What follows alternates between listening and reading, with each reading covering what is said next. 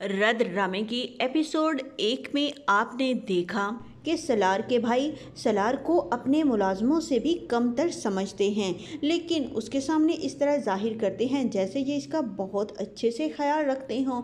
اور تو اور، یہ اپنی بائک اگر کہیں کھڑی کر دیتا ہے تو سلار کا بھائی کہتا ہے، تمہیں کتنی دفعہ کہا ہے کہ تم اپنی بائک کو پیچھے سرونٹ کوارٹر میں کھڑی کیا کرو۔ یہاں کھڑی کرنے کی جگہ نہیں، یہاں ہماری گاڑیاں کھڑی ہوتی ہیں۔ جواب میں سلار کہتا ہے، ٹھیک ہے۔ سلار جب اپنے بڑے بھائی سے بات کر رہا ہوتا ہے، اسے بتا رہا ہوتا ہے کہ فلاں دکان سیل ہونے والی ہے۔ اگر آپ بابا سے بات کریں یا آپ کچھ پیسوں کا ارینج کر دیں تو میں وہ خرید لیتا ہوں۔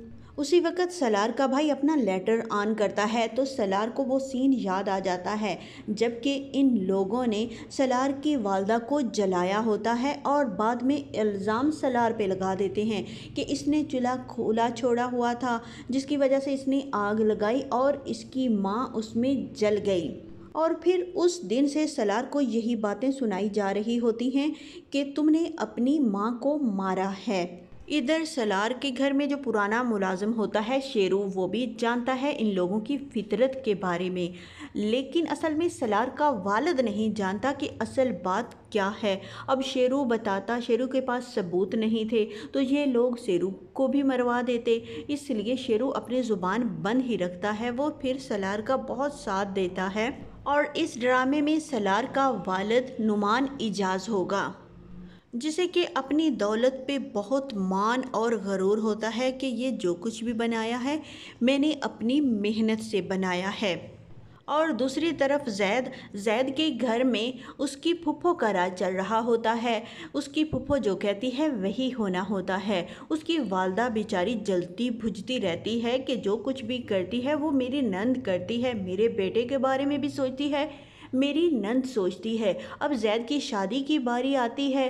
تو زید کی پھوپھو نے لڑکی پہلے سے پسند کی ہوتی ہے، جبکہ زید کی والدہ اس لڑکی کو بالکل بھی پسند نہیں کرے گی۔ وہ اس سے نفرت کرے گی، کیونکہ زید کی پھوپھو نے اس لڑکی کو پسند کیا ہوتا ہے۔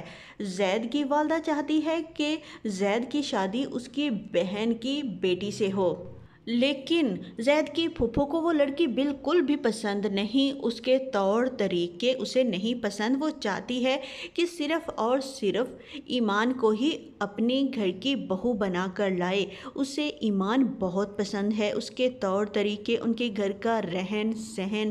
اس لیے جیسے ہی زید پاکستان واپس آتا ہے اپنی پڑھائی کمپلیٹ کرنے کے بعد، تو زید کی پھوپھو زید کو لے کر ایمان کے گھر پہنچ جاتی ہے۔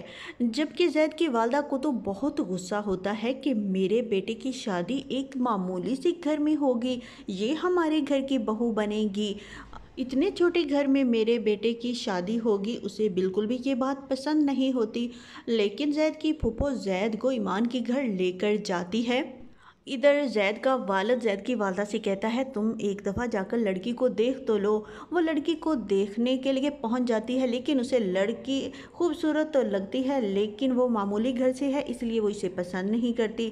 لیکن زید جیسے ہی ایمان کی تصویر دیکھے گا، وہ کہے گا کہ میری شادی ہوگی تو صرف اور صرف ایمان سے ہی ہوگی۔ اسے پہلی نظر میں ہی ایمان پسند آ جاتی ہے۔ ادھر سلار جو کہ ایمان سے بہت محبت کرتا ہے، اس نے ایمان سے اظہار بھی نہیں کیا ہوتا۔ اس کی تصویریں بناتا ہے، اس کی اسکیچ بناتا ہے، ہر وقت اس کے خیالوں میں ہی گم رہتا ہے۔ بس اسے صرف اور صرف ایمان کا اور ایمان کی گھر والوں کا فکر ہوتا ہے۔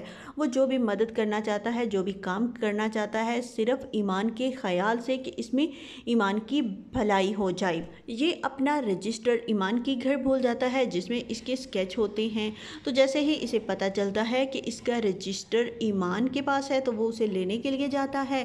جیسے ہی ایمان اسے رجسٹر پکڑاتی ہے، ادھر ایمان کا والد اسے کہتا ہے کہ کل وہ دوسرا ملازم چھٹی پہ ہے، تو اس لیے تم آ جانا۔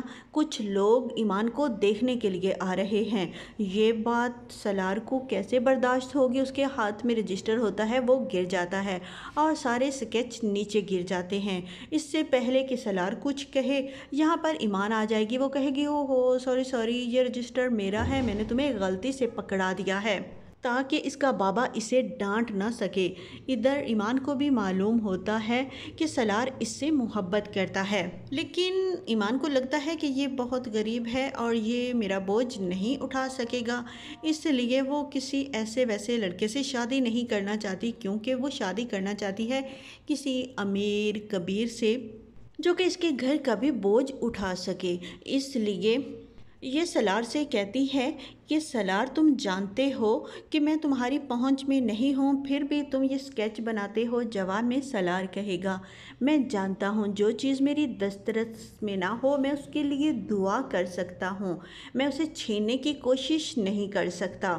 یہ محبت کرنا میرے بس میں ہے، وہ میں آپ سے کرتا رہوں گا، لیکن آپ کو اپنانا میرے بس میں نہیں، اس کے لیے میں دعا کر سکتا ہوں۔ یہ بات ایمان کے دل و دماغ پہ بیٹھ جاتی ہے۔ دوسری طرف زید اسے جب دیکھنے کے لیے آتا ہے تو زید اور یہ دونوں آپس میں بات کرنا چاہتے ہیں۔ تو زید سے یہ پوچھتی ہے کہ آپ مجھ سے شادی کرنے کے لیے راضی تھے؟ آپ نے تو پہلے مجھے نہیں دیکھا تھا۔ مجھے لگتا ہے کہ آپ اپنے گھر والوں کے پریشر میں آ کر مجھ سے شادی کرنا چاہتے ہیں۔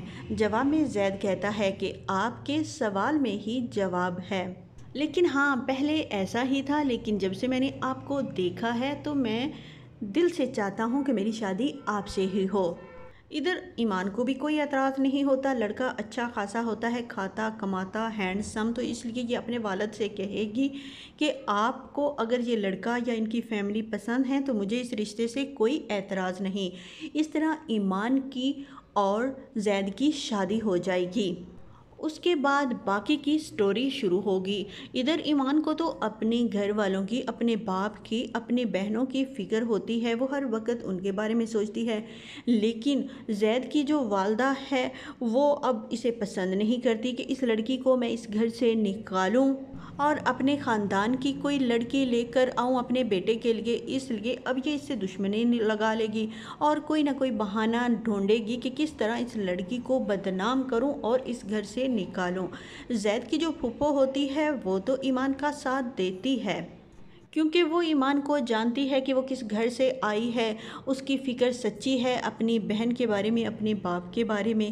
دوسری طرف جو زید ہے اس کا مزاج بھی کچھ مختلف ہوتا ہے جو کہ ایمان سے نہیں مل پائے گا۔ اس لیے ایمان اپنے دل کی بات کہنے کے لیے سلار کے پاس کبھی کبھار چلی جایا کرے گی۔ سلار کو لگے گا کہ شاید ایمان اس سے محبت کرتی ہے، اس لیے اس کے پاس آتی ہے اپنے دل کی باتیں، اس لیے اس سے شیئر کرتی ہے۔ لیکن ایسا کچھ نہیں، وہ اپنے شوہر کے ساتھ بھی مخلص ہوتی ہے، وہ اسے بھی دھوکہ نہیں دینا چاہتی۔ سلار کو تو وہ اپنا صرف اور صرف دوست سمجھتی ہے، کیونکہ سلار ایک مخلص دوست ہے اس کے لیے۔ اس کی ہر بات سمجھتا ہے، اس کی ہر پریشانی سمجھتا ہے۔ اور ایپیسوڈ دو میں سلار اور وہ اس سے محبت بھی بہت کرتا ہے۔